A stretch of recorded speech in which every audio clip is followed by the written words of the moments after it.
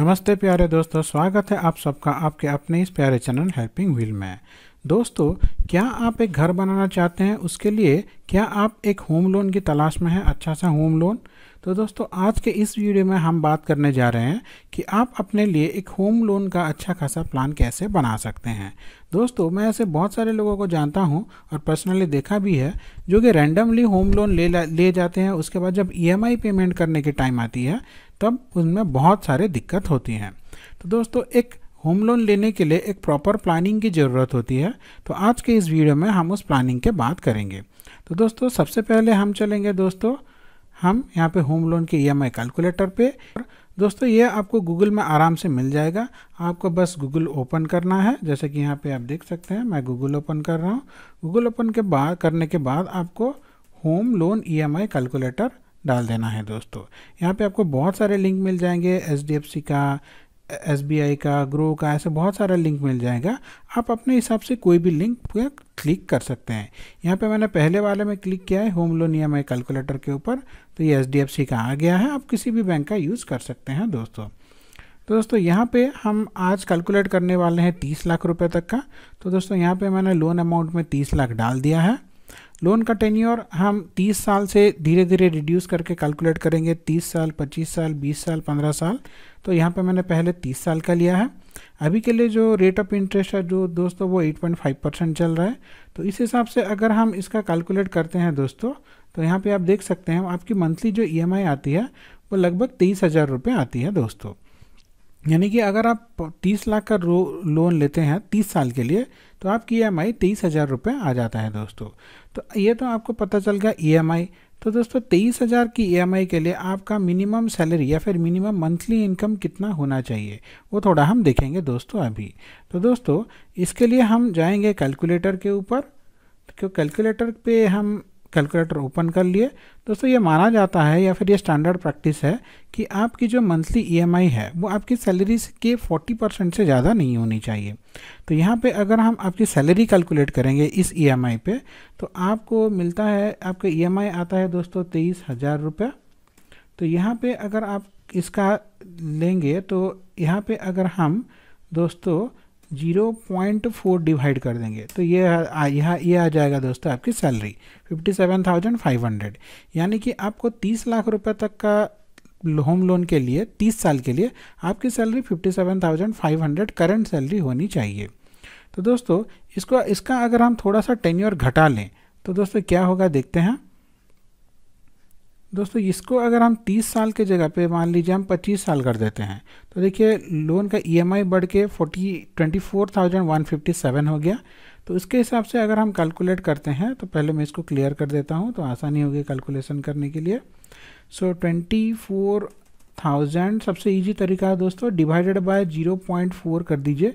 जो भी आपकी ईएमआई आएगी, उसका divided by zero point four कर दीजिए, आपकी सैलरी आ जाएगा सिक्सटी थाउज़ेंड तो अगर आप तीस लाख रुपए तक का लोन लेना चाहते हैं पच्चीस साल के लिए तो आपकी जो सैलरी है, या आपकी जो मंथली इनकम है, वो कम से कम साठ हज़ार होनी चाहिए, ताकि आपको आने वाले फ्यूचर में कोई भी परेशानी ना हो। तो इस तरह से आप कैलकुलेट कर सकते हैं दोस्तों। मैं आपको और एक बार करके दिखा देता हूँ। देखिए यहाँ पे इसका अगर मैं टेन्यूर को 25 से घटा के 20 कर देता हूँ दोस्तों तो ये आ गया दोस्तों लगभग 26,000 इसको बेस करके अगर मैं फिर से कैलकुलेट करता हूँ तो दोस्तों हम ले जाते हैं आपकी ई एम आई और डिवाइड कर देते हैं ज़ीरो से तो आपको मिल गया दोस्तों सिक्सटी फाइव थाउज़ेंड। तो इस हिसाब से आप सैलरी कैलकुलेट कर सकते हैं। तो कितना सैलरी पे आपको कितना होम लोन आपको लेना चाहिए दोस्तों? तो दोस्तों इसका, इस तरह से अगर आप कैलकुलेट करेंगे तो आपको होम लोन की ईएमआई चुकाने में कोई भी प्रॉब्लम नहीं होगी। इसके साथ साथ और कुछ और बातें भी ऐसी होती हैं जो आपके आपको ध्यान रखना ज़रूरी है बहुत ज़रूरी है। दोस्तों मान लीजिए आपने तीस लाख रुपए का लोन लिया है आपकी सैलरी है लगभग साठ हज़ार रुपये पैंसठ हज़ार रुपये जहाँ पे आप आ, उसका twenty five twenty six thousand आपका होम लोन का ईएमआई दे रहे हैं। और कभी कुछ ऐसा सिचुएशन आ गया जिस जिसकी वजह से आपकी जॉब चली गई जैसे कि कोरोना वगैरह का सिचुएशन आ गया कुछ डिप्रेशन आ गया तो आपको एक नया जॉब ढूँढने में आपको चार छः महीने का टाइम लग गया लग जाएगा। तो उस केस में आपको एक आपका बैकअप अमाउंट रेडी होना चाहिए दोस्तों, ताकि उस टाइम में आपका जो ई एम आई है, वो डिफ़ॉल्ट ना हो।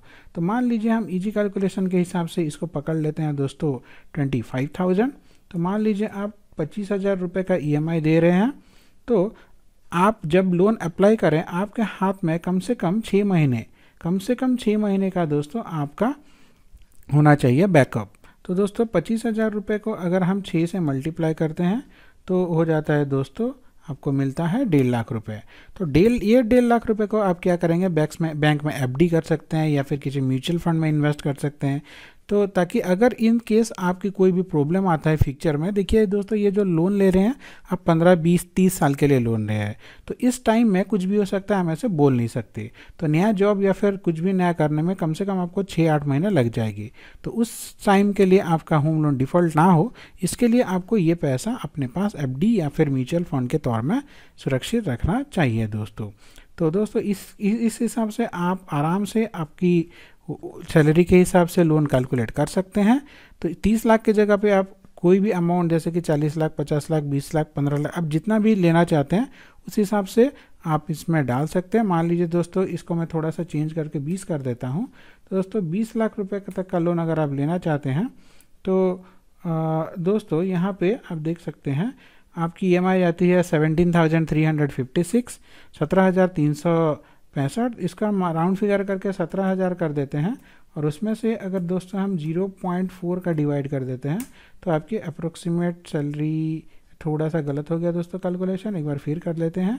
सत्रह हज़ार आपकी ईएमआई e है divided by zero point four तो आ जाता है दोस्तों forty two thousand five hundred आपकी सैलरी आपकी जो सैलरी है दोस्तों वो कम से कम इतना होना चाहिए। तो दोस्तों, आशा करता हूँ ये वीडियो आपको अच्छा लगा होगा। इस तरह की इंपॉर्टेंट जानकारी के लिए हमारे वीडियो को सब्सक्राइब हमारे चैनल को सब्सक्राइब करें और हमारे वीडियो को लाइक करें। आपका दिन मंगलमय हो। धन्यवाद दोस्तों।